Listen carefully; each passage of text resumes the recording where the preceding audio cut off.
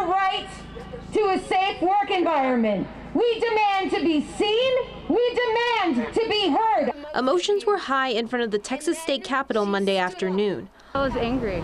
I was pissed off. Terrified. I mean, and, and frustrated and angry and anxious. We don't know if we're going to die from going to work. All feelings felt by a group of service workers who gathered to protest just days before the statewide mask mandate and capacity restrictions are rolled back. What we're asking for is that we don't reopen to 100% uh, by state mandate.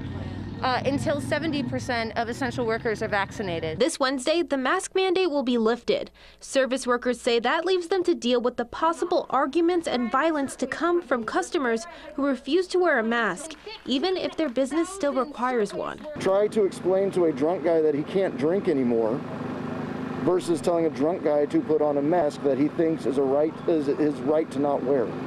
Uh, we need the backing of the government to say, hey, it's not just us, it's Texas saying you need to do this. Do it for your fellow Texans. Some of those fears came to light at the rally itself when a group from the other side of the debate showed up to disrupt those speaking. The lockdowns killed the economy.